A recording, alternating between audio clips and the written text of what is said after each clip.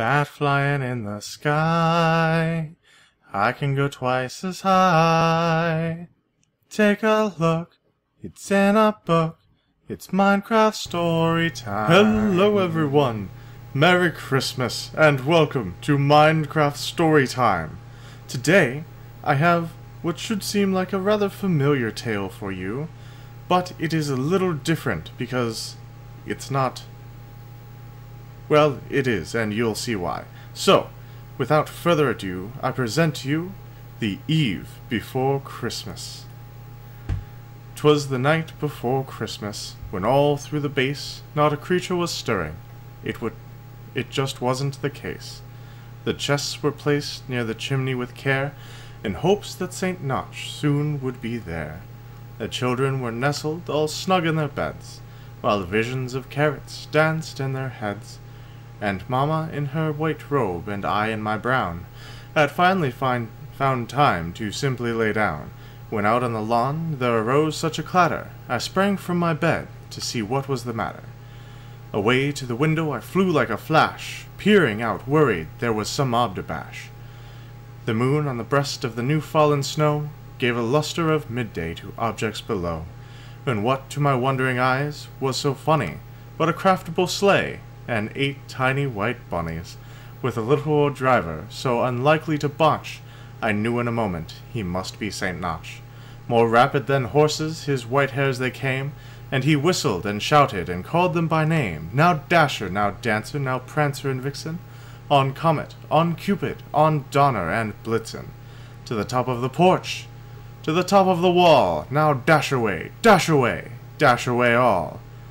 As leaves that before the iron shears break, when they meet with an obstacle, to the skies they did take, so up to the housetop, the white hares they flew, with the sleigh full of toys, and St. Notch too.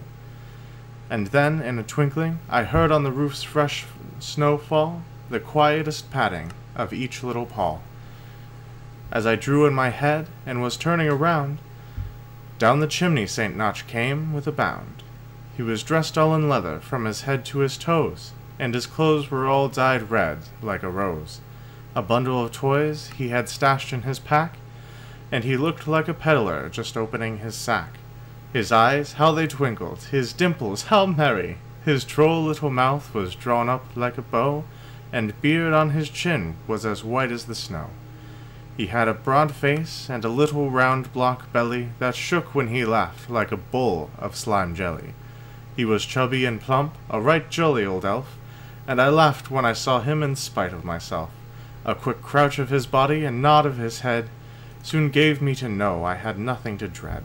He spoke not a word, but went straight to his work, and filled all the chests, then turned with a jerk, and raising his hand to the height of his nose, and giving a nod, up the chimney he rose. He sprang to his sleigh, to his team gave a call, and away they all flew like a bat down the hall.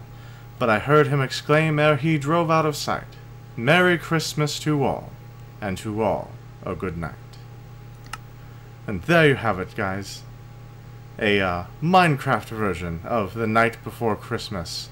So I hope that you've enjoyed this this particular story. I, I know it's a bit shorter than ones we've had, but it's Christmas, so go spend time with your family, for goodness sakes.